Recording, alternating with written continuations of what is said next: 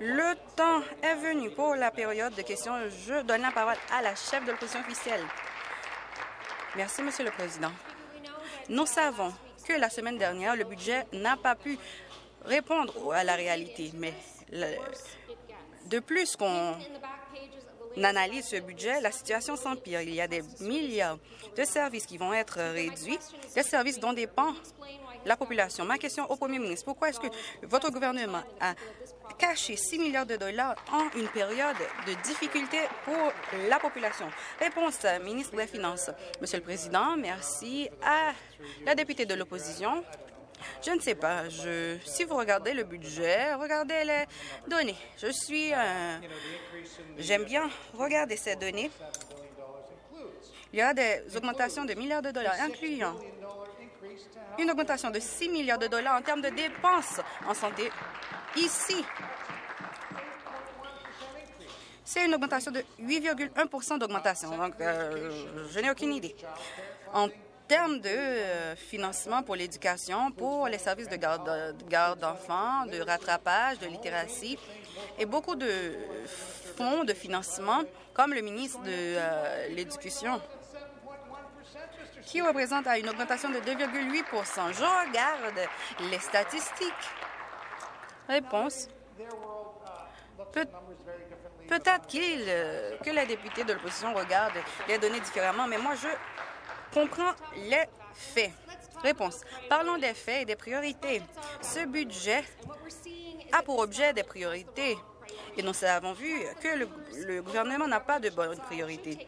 Peut-être qu'il devrait regarder encore une fois ce budget à la page 150 qui démontre qu'il va avoir des coupes au, ministre, euh, au ministère du Logement et des Affaires municipales, au ministère de, l'Agriculture francophone, etc. Est-ce que le Premier ministre peut nous expliquer encore une fois qu'est-ce que cela signifie pour le programme en termes d'itinérance, pour le Conseil d'art de l'Ontario, pour les services bilingues et le transport commun. Réponse, ministre des Finances. Monsieur le Président, le budget se concentre à appuyer tout le monde en Ontario, toute la population dans cette province entière. Et cette augmentation en population souligne notre sens d'urgence de ce côté de la Chambre pour accomplir ce qui est nécessaire. Parce que nous faisons face à une pénurie de logement, une crise de logement. En Ontario, nous n'avons pas assez d'hôpitaux, de foyers de soins de longue durée. Et en fait, vous avez parlé du programme d'itinérance. Merci d'avoir mentionné cela. C'est un point excellent. Hier, la semaine dernière de préférence, nous avons augmenté le programme en a trait à l'itinérance à 2 milliards de dollars. Et c'est une bonne nouvelle. Nous n'allons pas décevoir ceux qui vont se rendre en Ontario et ceux qui résident déjà en Ontario. Complémentaire final.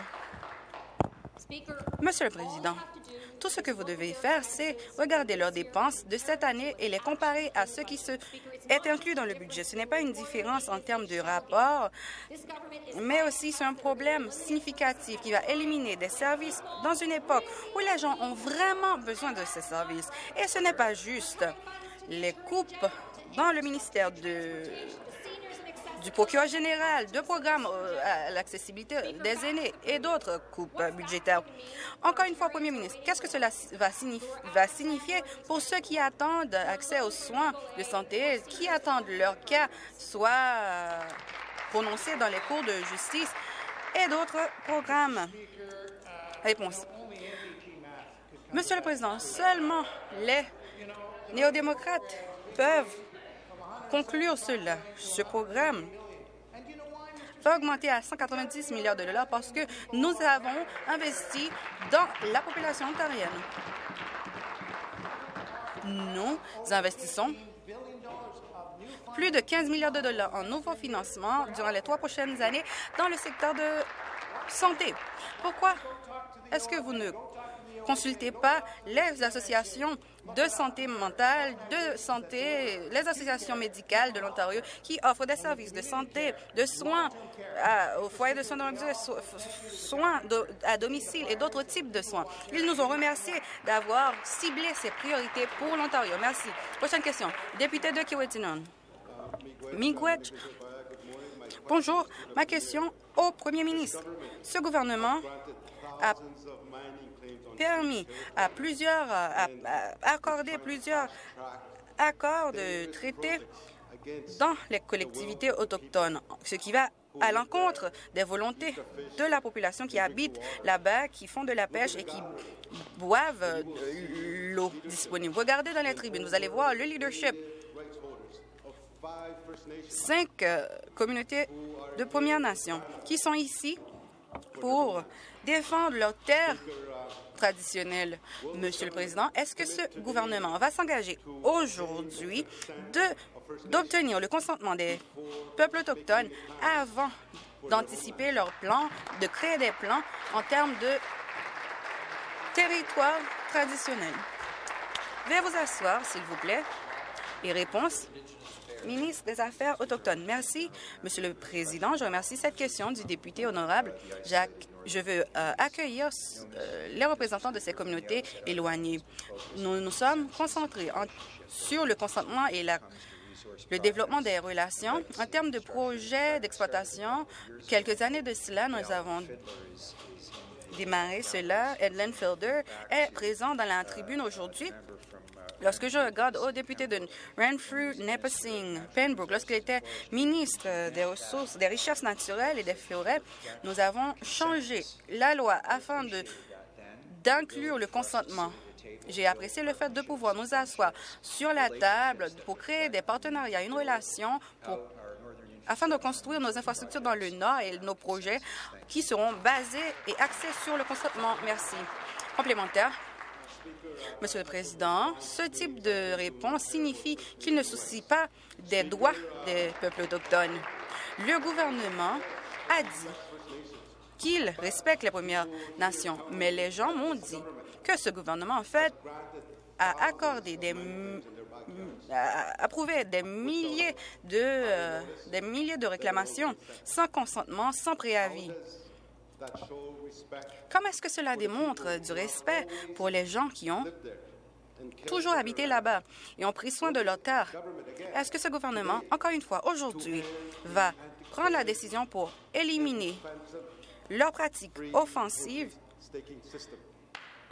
de prise de territoire dans sa collectivité? Ministre des Affaires autochtones, merci, Monsieur le Président. Nous nous concentrons pour, euh, sur euh, nos relations Grâce au leadership du premier ministre, nous rencontrons plusieurs dirigeants de ces communautés régulièrement, les grands chefs, et ces rencontres ont pour objet euh, le consentement afin de nous assurer que les ressources qui sont extraites du nord de l'Ontario sont distribuées de manière juste et équitable. Et aussi grâce à l'accord de partage des recettes pour nous assurer que les communautés autochtones soient impliqués dans les bénéfices et les avantages. Ce n'est pas seulement un avantage financier grâce à, ces projets, mais aussi, dans plusieurs cas, dans notre accord de partage des recettes, ça reflète euh, la participation du leadership autochtone en termes de gestion de ces ressources, Monsieur le Président. Alors, nous voulons continuer sur cette voie. Nous savons que cela va offrir une façon équilibrée, juste et équitable pour ces communautés autochtones afin de tirer parti de ces partenariats. Et je vous remercie, Monsieur le Président. Complémentaire final. Monsieur le Président, nous ne sommes pas seulement des collectivités, nous sommes des nations. Ce gouvernement a parlé de prospérité pour tout l'Ontario. Mais soyons clairs, les cinq Premières Nations qui, ont, qui se sont déplacées pendant des, milliers de kilomètres doivent payer le, le, le tort et les coûts après le désastre dans le secteur minier, leurs petits-enfants enfants vont devoir boire euh, l'eau en traitement, l'eau en aval de ces, de ces mines. Est-ce que le gouvernement va s'engager aujourd'hui au lieu de détruire les terres. Et aujourd'hui, est-ce que le premier ministre va rencontrer ses dirigeants pour changer la donne? Veuillez vous asseoir, s'il vous plaît. Ministre des Affaires autochtones. Merci. nous allons nous concentrer sur notre intérêt commun pour changer le nord de l'Ontario, où non seulement la population va bénéficier des avantages économiques, c'est grâce aux minéraux critiques.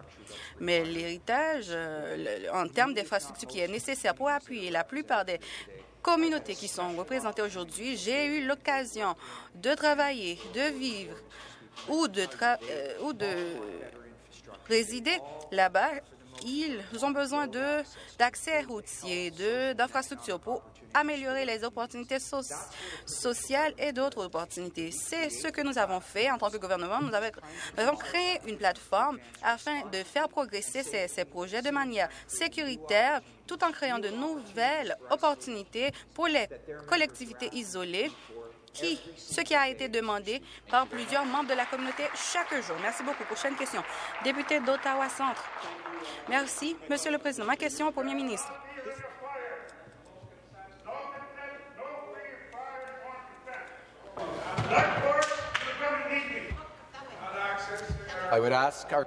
Je demande aux invités qui sont dans la tribune des visiteurs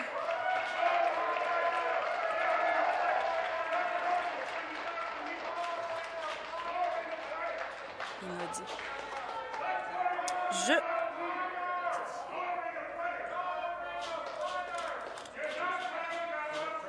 de s'abstenir de ces explosions, sinon vous devrez quitter les lieux.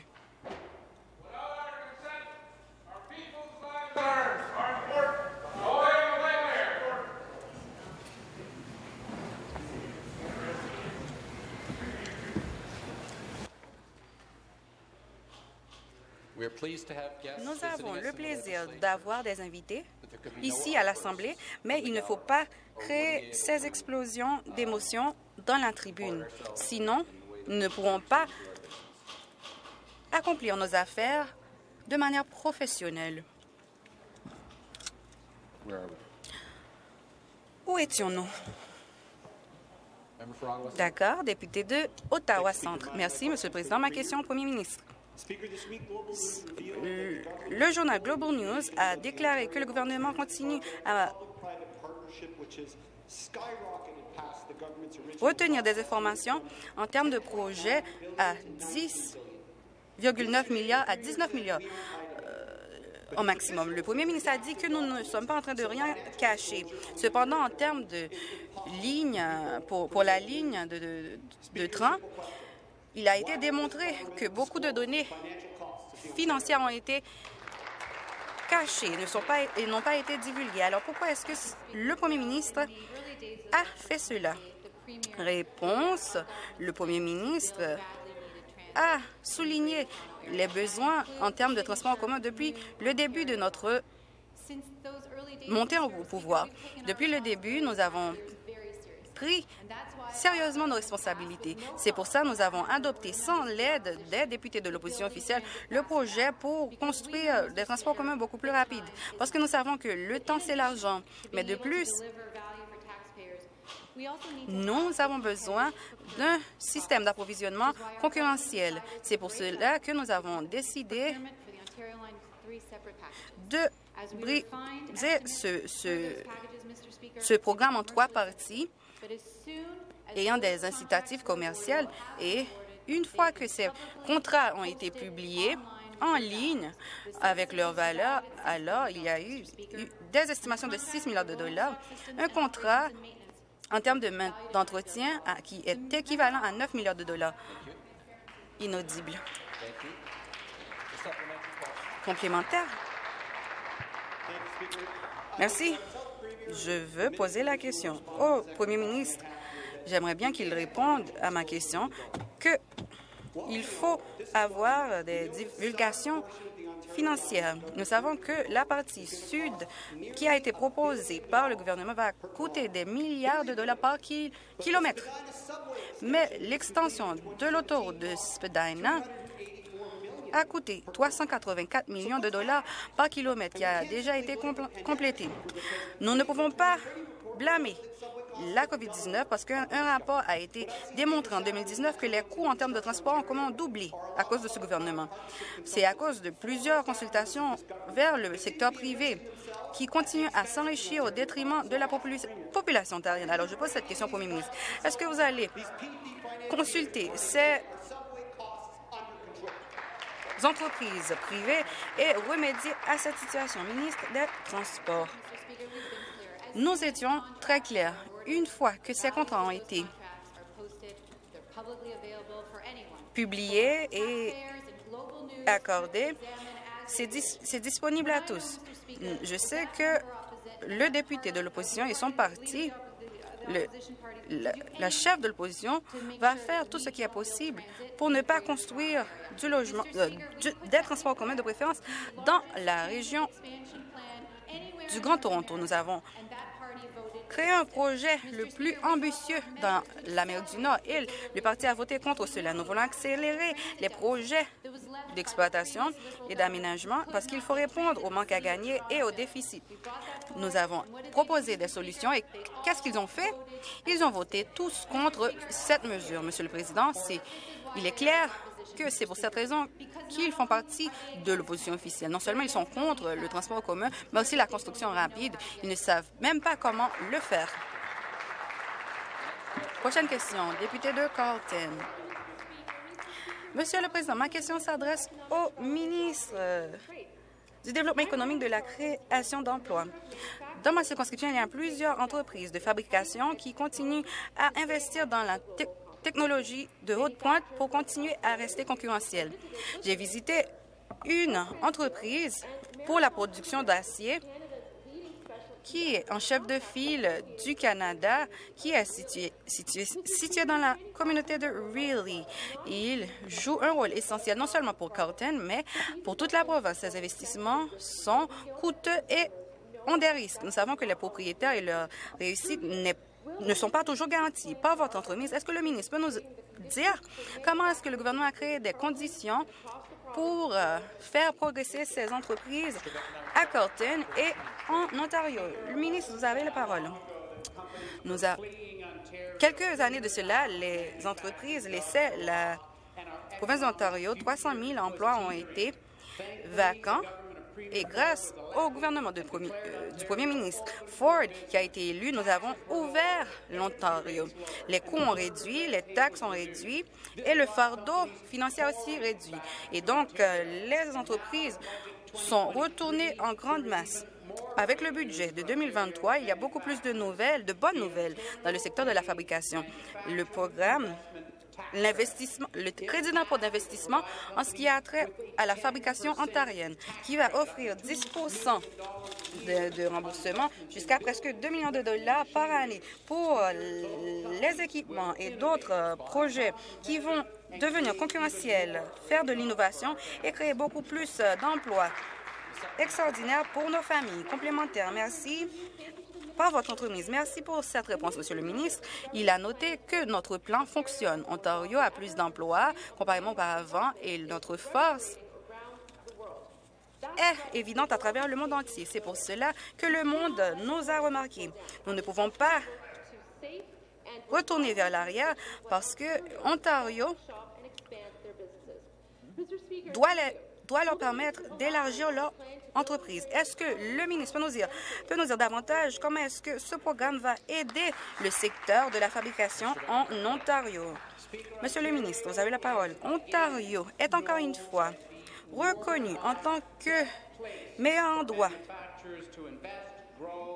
sur l'échelle mondiale pour investir et faire grandir les entreprises en réduisant les coûts à 8 milliards de dollars pour les entreprises en réduisant les taux d'impôt, en éliminant les formalités administratives, nous avons vu les entreprises qui ont créé 600 000 nouveaux emplois depuis notre élection. Et avec le programme, le, crédit d'impôt en termes d'investissement, qui va offrir 780 millions de dollars sur une période de trois ans, nous savons qu'il y aura plus d'investissements, plus d'innovation, plus d'emplois. Des milliers d'emplois dans le secteur de la fabrication sont retournés en Ontario et ce crédit d'impôt, c'est la prochaine étape pour s'assurer que l'Ontario a tout ce qu'il faut pour réussir. Prochaine question. Député d'Hamilton Mountain. Merci. Ma question au premier ministre. Nous avons vu une tendance à Hamilton effrayante en termes de fournisseurs de services privés qui ont fermé leurs portes. Plusieurs sociétés ont annoncé leur fermeture. Un bénévole a dit, je cite, « C'est troublant et triste. Les services qui sont offerts par cette association sont importants. Il est très décevant et triste de savoir que ces femmes n'ont aucun appui en essayant de naviguer le système juridique. Ce qui se passe à Hamilton est clair. C'est un exemple de répercussions négatives de ce, projet, de ce budget et il est évident qui est laissé de côté. Est-ce que le premier ministre peut nous dire quels sont les soutiens pour l'association Elisabeth Ryan de ma circonscription?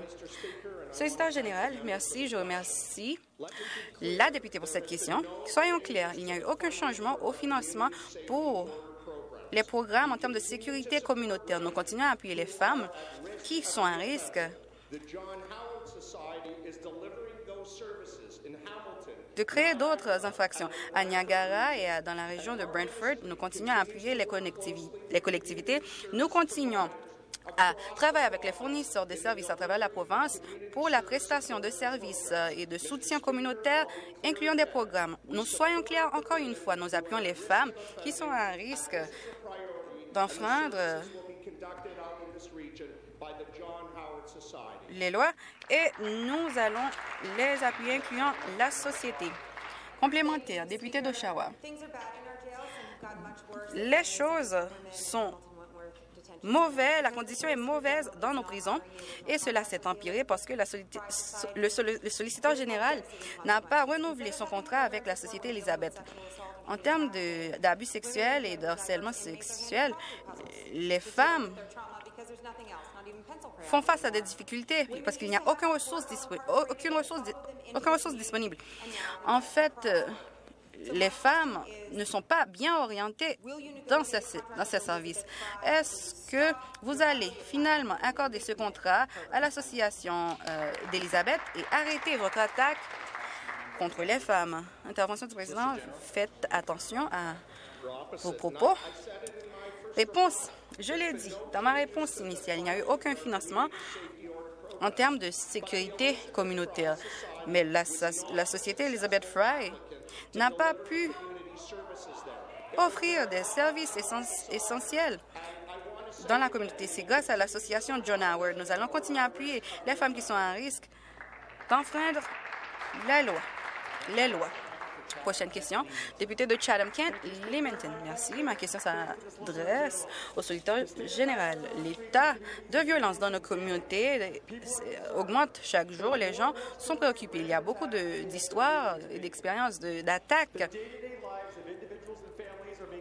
aléatoires. La vie des familles sont impactées par des activités criminelles contre leurs proches.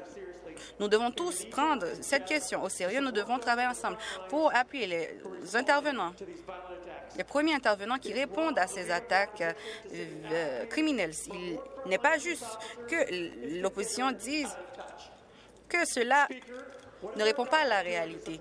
Que fait le gouvernement pour appuyer nos agents de première ligne et pour les familles qui sont impactées par cela? Merci, Monsieur le Président. Je remercie euh, l'excellent député de Chatham-Kent-Limington pour le remarquable travail euh, qu'il fait dans sa communauté. Les mots ne suffisent pas pour euh, présenter nos condoléances à la famille qui a perdu son fils tout dernièrement. Les violences dans les transports en commun et partout ailleurs sont inadmissibles.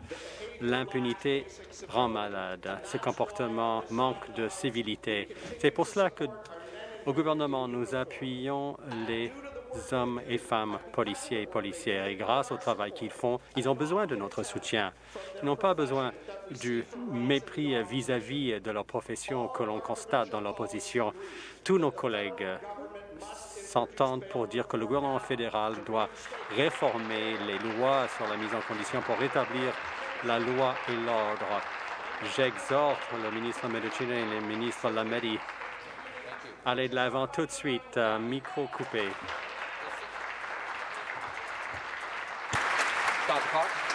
Arrêtez l'horloge.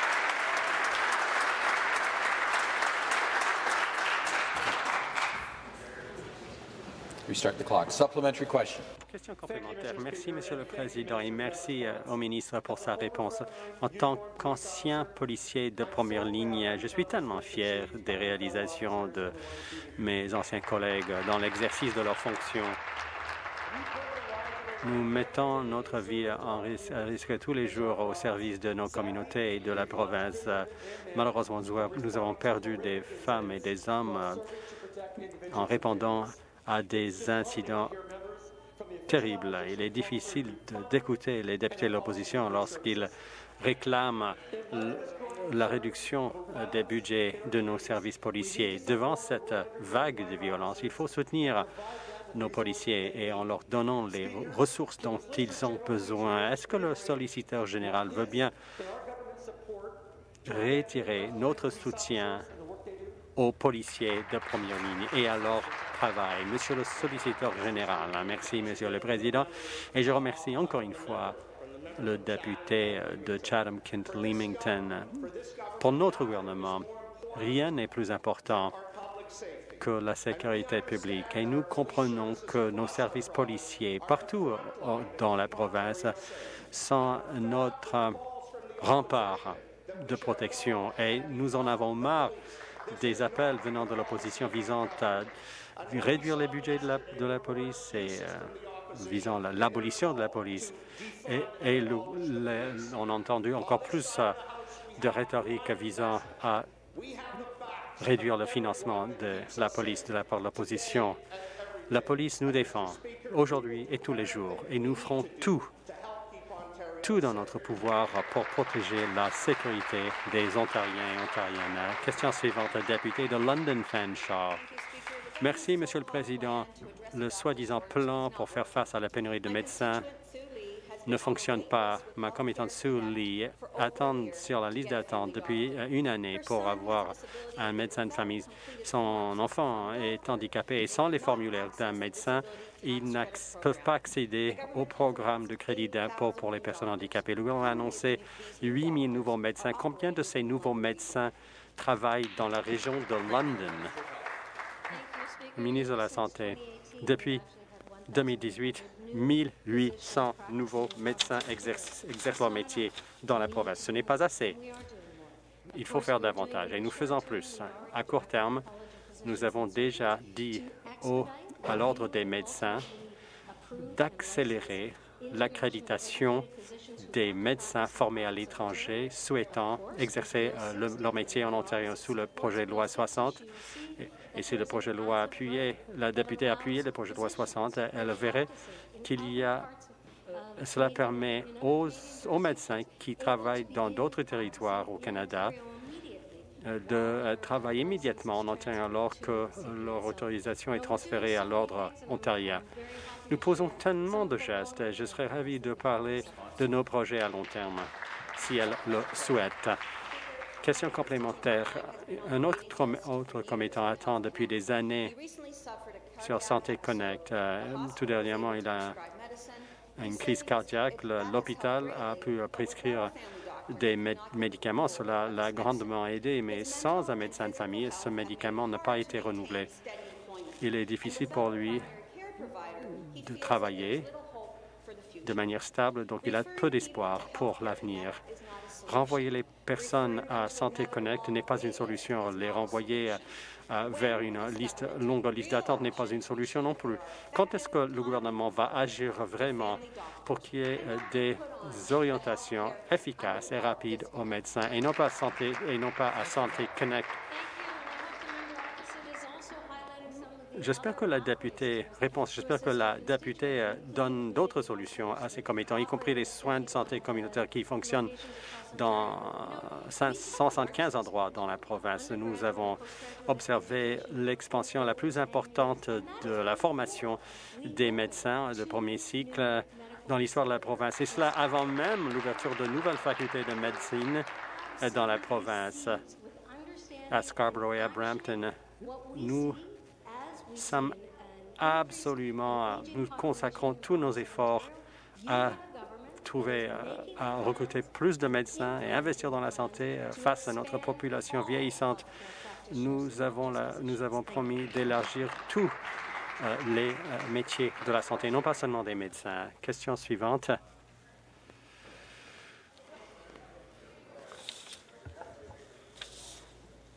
Question suivante. Député de Durham. Merci, Monsieur le Président. Ma question s'adresse au ministre de l'Énergie.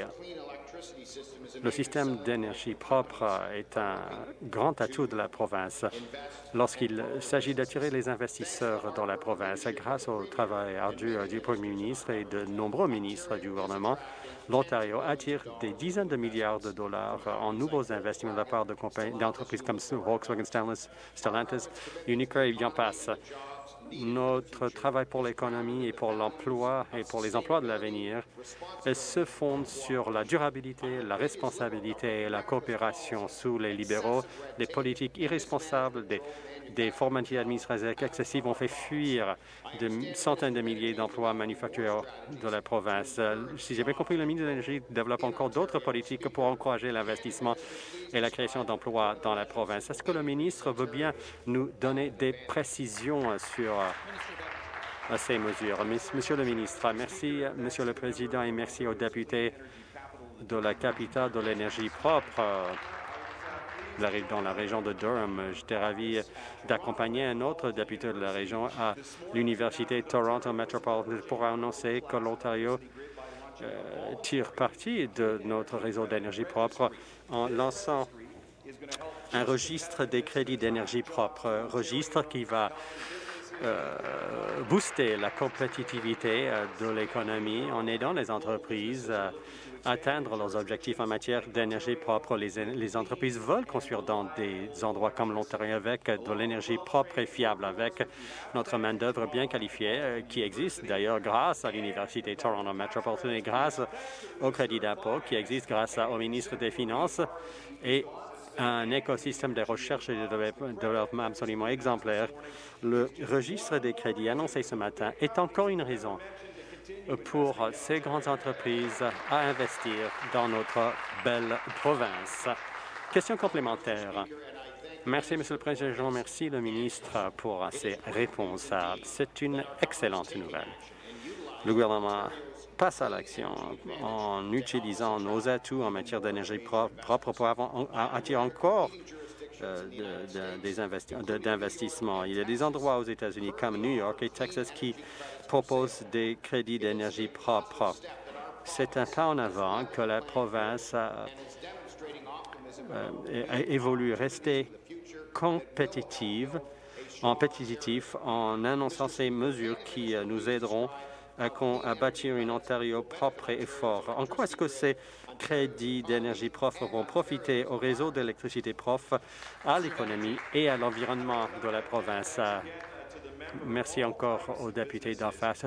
Toute catégorie d'entreprises, y compris du secteur automobile, mettent de plus en plus l'accent sur les, les objectifs d'énergie renouvelable à 100% Et le registre annoncé ce matin signifie que ces entreprises euh, pourront auront accès encore à un outil pour veiller à ce que euh, leurs euh, opérations soient euh, alimentées par des énergies propres. Nous, nous venons d'ailleurs d'entendre l'annonce concernant la production d'isotopes. Les crédits de ce registre, en fait, ces ventes seront affectés au nouveau fonds d'énergie propre. Cela veut dire un investissement de ces fonds en Ontario pour de nouveaux projets d'énergie propre qui rendront notre réseau plus vert, plus vert, euh, plus propre, plus vert et plus fiable, et en baissant le coût de l'électricité pour euh, les Ontariens. Député de Thunder Bay Supérieur Nord. Merci, Madame, Monsieur le Président. Dans ma conception de Thunder Bay Supérieur Nord, les parents d'enfants autistes sont confrontés à des années d'incertitude car ils ne peuvent pas accéder, à, ne peuvent pas recevoir un diagnostic. Ensuite, ils attendent encore des années pour ne, car ils n'accèdent pas au, au, fonds de traitement essai s'ils arrivent à trouver un fournisseur près de chez eux. Le mot autisme ne figure même pas dans le budget. Monsieur le ministre, que fait votre gouvernement pour veiller à ce que les services diagnostiques et de traitement soient disponibles dans le nord de la province afin que les enfants autistes ne perdent pas, euh, ne passent pas à côté de ces années cruciales de soins. Merci. Je remercie la collègue pour la question.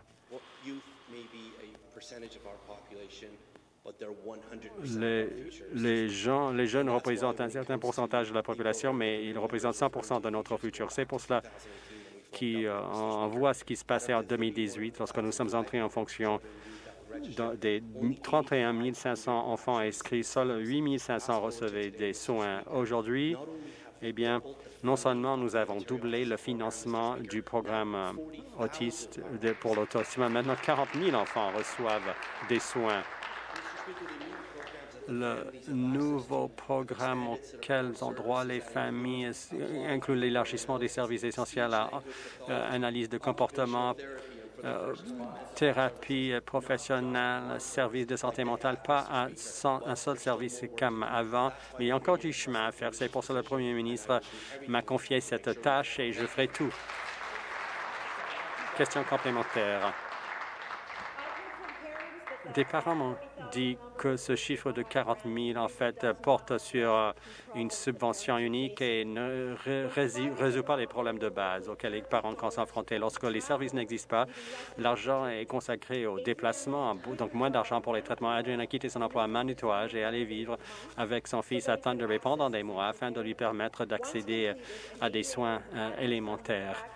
Ensuite, euh, ils sont rentrés chez eux. Ils ont dû faire les déplacements dans les deux sens, quatre, heures chaque, chaque direction, pour continuer d'avoir accès aux soins à, Thunder Bay. Est-ce que vous allez donner, offrir des incitatifs pour permettre aux professionnels de s'établir dans les régions reculées et offrir des subventions supplémentaires pour permettre à tous les enfants d'accéder au diagnostic et au traitement? Monsieur le ministre, merci. Monsieur le Président, chaque personne qui a besoin de services. Lorsque vous vivez dans la meilleure province du meilleur pays euh, du monde, c'est la population euh, qui est notre force. Personne ne peut être abandonné. C'est pour cela que nous cherchons des solutions pour veiller à ce que toute personne en, ayant besoin, et notamment les plus vulnérables, notamment ceux qui ont besoin de soutien. C'est pour cela que j'ai dit que je suis fier du bilan de notre gouvernement, car nous avons doublé le financement du programme autisme. Deux tiers des enfants et jeunes qui attendaient sur la liste d'attente n'avaient aucune chance de recevoir des soins et des services. Maintenant, c'était 8 500. Maintenant, c'est plus de 40 000 qui reçoivent des, des services et soins. Comme je l'ai dit à la députée, chaque famille pour chaque famille, nous continuons de chercher des solutions pour, toutes les, pour tous les jeunes, toutes les enfants et toutes les familles. Député de Scarborough-Guildwood. Merci, Monsieur le Président. Ma question s'adresse au ministre de l'Éducation. Suite aux trois ans les plus difficiles de la mémoire récente, le budget de, jeudi dernier était une occasion pour euh, remédier à une euh, vaste gamme de problèmes auxquels sont confrontés les parents euh, et les enfants depuis de nombreuses années. À la place, le gouvernement a introduit deux un budget de 204,7 milliards de dollars, hein, donc des dépenses records, et pourtant a été euh, très loin de l'objectif en ce qui a trait au soutien aux élèves. Et donc, euh, le Bureau de la responsabilité financière prévoit un manque à gagner de 6 milliards de dollars pour l'éducation avec une, des arriérés de réparation de presque 17 milliards de dollars. L'éducation a été abandonnée. Les élèves font face à l'impact de la pandémie euh, exacerbée par le sous-financement. Pourquoi est-ce que vous faites la vie dure à l'éducation alors que les besoins sont plus pressants que jamais?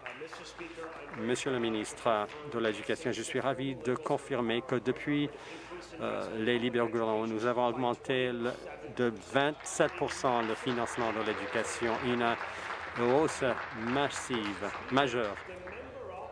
La députée d'en face s'oppose systématiquement à toutes les augmentations d'investissement.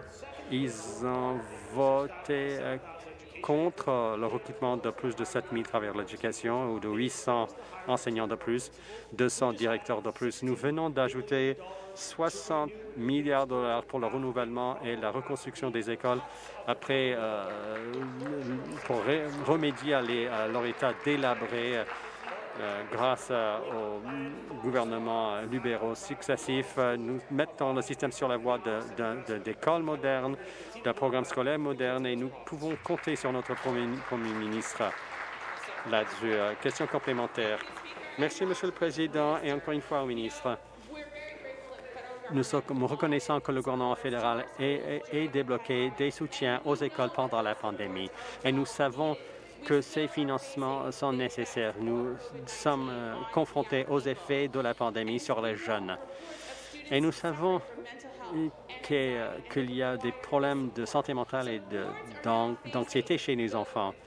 Les conseils scolaires sont maintenant confrontés aux besoins de, de retourner au dotage en effectif d'avant la pandémie, alors que les besoins restent toujours. Mettre l'accent sur l'autisme, les enfants en difficulté, il faut veiller à ce que les conseils scolaires aient suffisamment de moyens afin d'offrir les soutiens à ces besoins, aux enfants qui en ont besoin. Nous savons que le renforcement de l'éducation publique est un moteur du succès dans la province. Et il faut que cela soit accessible à tous les élèves. Pourquoi est-ce que vous faites la vie dure au conseil scolaire public alors qu'ils ont tellement besoin du soutien? Si seulement les députés contribuaient la même énergie lorsqu'elle était ministre de l'Éducation et, n'ont pas à, sa candidature pour être maire de Toronto, les, enfants ne seraient pas tellement à l'abandon nous avons augmenté les financements de base pour venir en aide aux, élèves de Scarborough et de toute la province, un plan pour renforcer la littératie. C'est le, seul territoire du pays qui finance cela pour les élèves de la maternelle jusqu'à la deuxième année et aussi 30 millions de dollars pour la numératie et dans le budget du ministre des Finances, un, un financement ciblé pour l'éducation financière dans nos écoles. Cela va aider à mettre les enfants sur la bonne voie. Député de Windsor-Tecumseh, ma question s'adresse au ministre du Travail, de l'Immigration, de la Formation et du Développement des compétences. Partout en Ontario, et notamment dans ma circonscription, il est clair que le gouvernement travaille inlassablement pour bâtir l'Ontario pour la génération future. Beaucoup de projets de construction sont en cours partout dans la région. Euh, avec des entreprises. Euh, nous entendons, bon, il y a plein de mises de, de chantiers qui travaillent dur grâce aux investissements du gouvernement pour les employeurs et pour les projets résidentiels. Il y a beaucoup euh, de chantiers qui aideront euh, la région à, réussir. Mais pour achever ces projets, il faut des gens pour faire le travail. Est-ce que le ministre veut bien nous expliquer ce que fait notre gouvernement pour attirer plus de travailleurs dans euh, les métiers de la construction? Monsieur le ministre, je remercie le député de Windsor, de, de pour tout ce qu'il fait pour la population de Windsor ici à Queen's Park. Notre gouvernement, sous le leadership du Premier ministre Ford, un plan ambitieux pour construire les projets dont la population a besoin, y compris à Windsor. Nos travailleurs euh, du bâtiment sont de véritables héros et on en a besoin de plus en plus.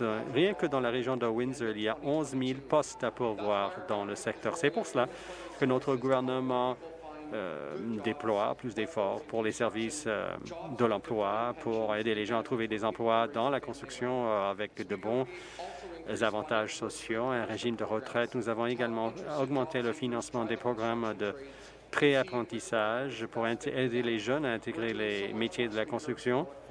Nous faisons davantage et j'ai hâte de répondre à la question supplémentaire. Question complémentaire. Merci pour la réponse.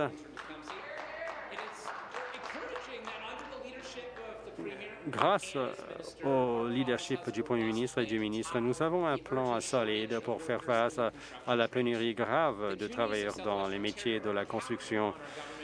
Le sud-ouest de l'Ontario compte, sur le gouvernement pour accroître le nombre de, de travailleurs dans ces métiers spécialisés afin d'initier euh, de, euh, ces projets de construction. Nous avons besoin de ces travailleurs maintenant. Il faut revenir et il faut euh, combattre les préjugés concernant les métiers spécialisés. Il faut encourager les gens à, prendre, cette, prendre cette voie. quels sont les investissements que nous faisons pour aider les gens à trouver euh, du travail dans les métiers euh, du bâtiment? Il n'y a jamais eu de député de la ville de Windsor qui a tant réalisé pour la population de Windsor, dans Windsor. Le nouvel hôpital régional de Windsor, par exemple. Pensons à l'usine Stellantis de Windsor. Donc, félicitations au député de Windsor Tecumseh pour euh, tout ce qu'il a fait. Nous faisons des investissements ciblés euh, pour construire un, un plus fort pour nous tous et toutes. Depuis trois ans, nous avons investi plus de 660 millions de dollars dans le Fonds de développement des compétences pour euh, amener les gens euh, à travailler dans le secteur. Euh, grâce au programme des apprentis, nous avons augmenté 660 000 dollars pour, pour attirer des femmes dans ces métiers aussi. Les frais d'inscription sont gratuits et le programme inclut des euh, placements rémunérés, des euh, services de crèche. Euh, ce sont des programmes qui nous aident à bâtir des communautés toutes, pour, toutes. est pour le ministre du Travail. Aujourd'hui, le néo-démocrate a introduit pour la 16e fois un projet de loi anti-jaune ou anti-scab. Grâce à de telles mesures, les grèves sont moins nombreuses et plus courtes, et cela protège les travailleurs vulnérables. Le gouvernement dit travailler pour les travailleurs. Eh bien, nous venons de déposer un projet de loi sur le travail. Le gouvernement peut agir véritablement pour protéger les travailleurs vulnérables, pour protéger les droits, les droits des travailleurs. Est-ce que le ministre veut, dire, veut, bien dire aux travailleurs à la galerie qu'il va adopter le projet de loi anti-SCAB dès aujourd'hui. Je suis fier de notre bilan sous la direction du Premier ministre Ford pour soutenir les travailleurs dans toutes les communautés de la province. C'est pour cela que nous avons déposé trois projets de loi œuvrer pour les travailleurs un, œuvrer pour les travailleurs deux, et maintenant un troisième projet de loi devant nous. Mais permettez-moi de demander aux partis d'en face lorsque ce que vous vous, vous, êtes perdu, quand est-ce que vous avez abandonné les travailleurs de la province? Nous avons recruté 100 inspecteurs de plus dans la province. Qui a dit non? Eh bien, c'était les néo-démocrates qui ont voté non, qui ont refusé de renforcer la santé et la sécurité dans nos lieux de travail. Nous, chaque jour, nous œuvrons pour les travailleurs de la province. Question complémentaire, député de Windsor-West. Merci, Monsieur le Président. Le ministre a totalement esquivé la question des travailleurs de Windsor de, la section 240 et 1959 euh, d'Unifor qui font la grève depuis 40 jours contre la délocalisation de leur emploi euh, par euh, Stone Canyon Industries. Ces travailleurs et tous les travailleurs de la province méritent que leurs droits et leur emploi soient protégés. Les conservateurs ont eu de nombreuses occasions depuis pendant les, 16 fois où le projet de loi a été déposé pour, pour adopter un, projet de loi anti-SCAB, mais ils ne le font pas. Vous ne pouvez pas dire que vous protégez les travailleurs ensuite en votant contre les projets de loi anti-SCAB. Les travailleurs de Windsor Salt et les travailleurs de toute la province tiennent à savoir est-ce que le Premier ministre va défendre les droits à la négociation collective en adoptant un projet de loi anti-SCAB. Fini euh, la rhétorique. Dites oui ou non aux travailleurs. Prenez vos places, s'il vous plaît. Minister of Labour. Ministre du Travail. Je, veux bien affirmer aux travailleurs de Windsor Salt que ce sont des héros euh, de la communauté et ils construisent un Windsor plus fort pour, euh, pour tous et toutes. Mais permettez-moi aussi d'affirmer que notre gouvernement a envoyé un message euh, très clair à Windsor Salt. Nous avons participé à des négociations avec l'entreprise, avec Uniform. Nous voulons une entente. 98 des négociations, euh, des, ententes sont signées, sans convention sont signées autour de la table. Nous voulons une entente juste pour ces travailleurs de Windsor Salt. Ils sont à la table de négociation et nous voulons qu'ils euh, trouvent une solution aussi rapidement que possible. Nouvelle question, député de Oakville Nord, Burlington. Merci, Monsieur le Président. Ma question s'adresse au ministre des Services euh, aux enfants et à la communauté. Je remercie le ministre de son nouveau portefeuille. Les jeunes et enfants du système du bien-être euh, affrontent des obstacles toute la vie durant.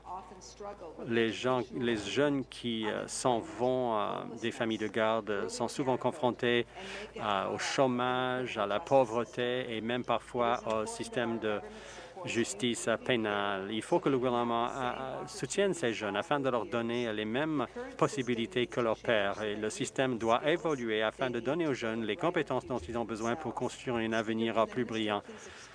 Est-ce que le ministre veut bien nous expliquer les initiatives que prend le gouvernement pour renforcer le soutien pour les jeunes qui sortent du système de bien-être des enfants?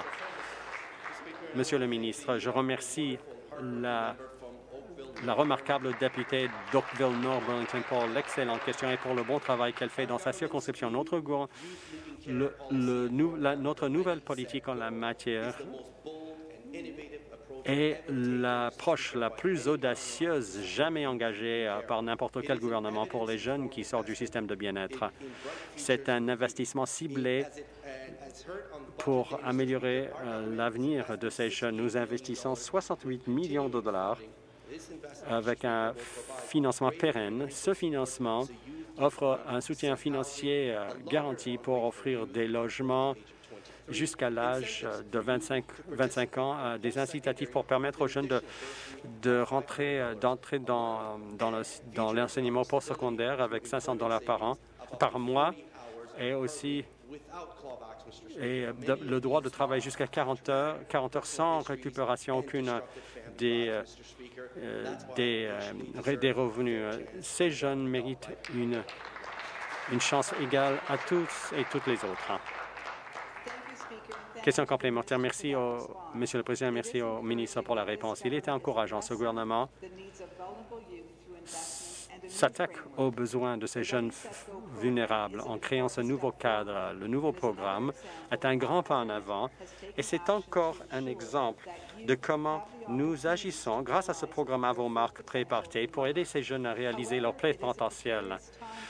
Cependant, c'est un temps précaire dans la vie de ces jeunes lorsqu'ils font cette transition du système vers la vie d'adulte. Il est essentiel que les jeunes reçoivent les soutiens et c'est essentiel, les aidant à minimiser les risques et leur permettant de réaliser leur potentiel. Est-ce que le ministre veut nous expliquer en quoi le programme marques préparties va aider les jeunes et les, les enfants et les jeunes?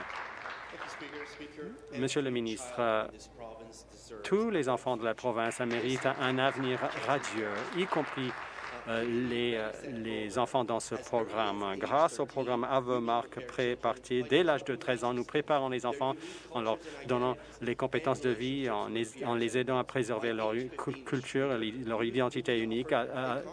Avant l'âge de 18 ans, ils auront un éventail d'options, y compris un médiateur pour préparer leur avenir. À l'âge de 18 ans, les travailleurs sociaux seront redevables pour veiller à ce que les jeunes et tout, un compte bancaire, euh, les pièces d'identité, les soutiens professionnels les technologies de communication. Par exemple, entre l'âge de 18 et 23 ans, les jeunes euh, se verront offrir des voies à différentes euh, professions, y compris les métiers spécialisés.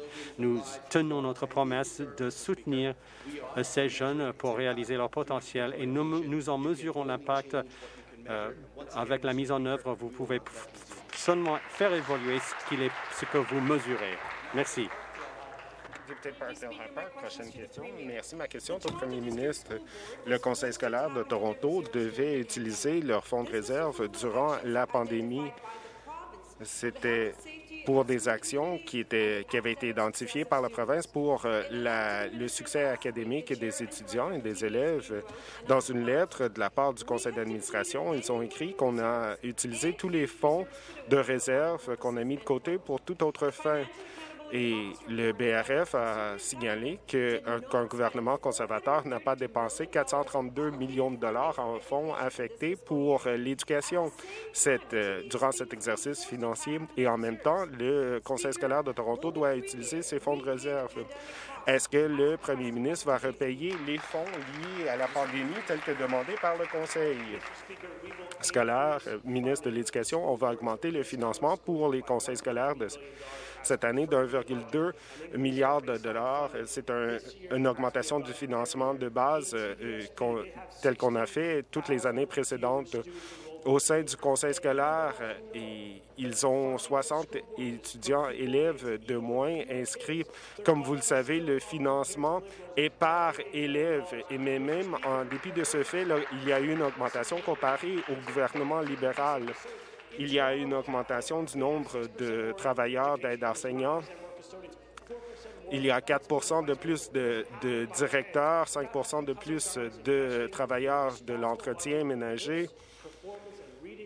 Et c'est grâce aux investissements et, qu'on continue de se concentrer sur une amélioration du programme scolaire, de se concentrer sur les mathématiques et, sur d'autres, euh, sur la littératie, entre autres, euh, et d'assurer qu'ils puissent rester en classe jusqu'à la fin du mois de juin.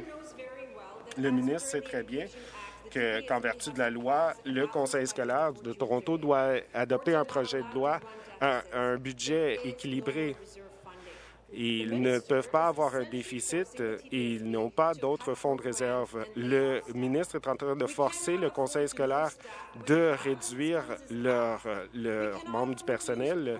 On ne peut pas se permettre à perdre ces membres du personnel alors qu'il y a une augmentation de la violence dans les salles de classe. Pourquoi est-ce que le gouvernement est en train de faire en sorte que les écoles n'ont pas les soutiens nécessaires pour aider les élèves?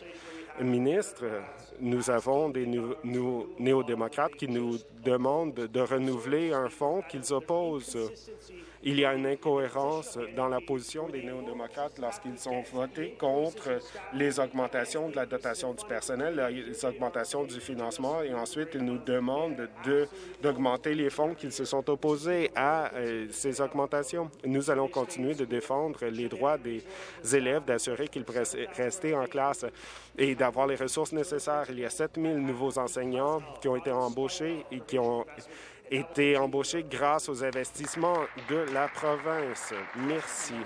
Prochaine question, député de Mississauga Lakeshore. Merci, Monsieur le Président. Ma question est pour le ministre des Affaires municipales et du Logement. Mississauga est la troisième plus grande ville de la province, mais durant les dix dernières années, on a seulement euh, bâti 3 000 maisons, ce qui est bien en dessous de ce qui est nécessaire. C'est pour cette raison que c'est préoccupant que la ville de Mississauga a rejeté des demandes pour deux tours résidentielles qui seraient construites près de la station Port Credit Go et de Hazel McAllen. Au lieu de continuer de euh, travailler pour bâtir plus de maisons, il semble qu'il s'oppose à ces initiatives qui feraient en sorte que la vie serait plus facile pour les familles ontariennes. C'est essentiel que Mississauga puisse bâtir plus de maisons pour qu'on puisse appuyer la population croissante, surtout alors euh, dans les régions où euh, on s'attend à ce qu'il y ait une croissance démographique.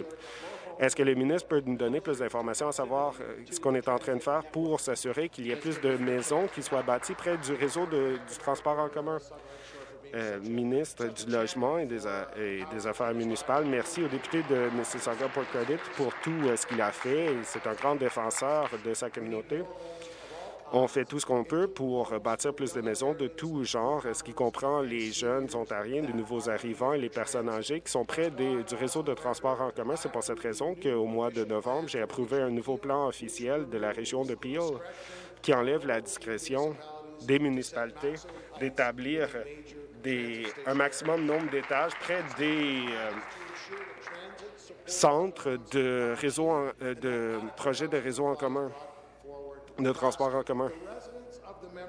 Les résidents de la circonscription du député, euh, ce sera très bénéfique pour eux. Ça veut dire que s'ils habitent à Mississauga et qu'ils travaillent à Toronto, ils auront accès rapide au réseau de transport en commun et qui sera plus efficace complémentaire, je voudrais remercier le ministre pour sa réponse et d'avoir précisé que les municipalités ne peuvent pas établir un, nombre maximum d'étages près de, stations et de gares des, euh, des transports en commun.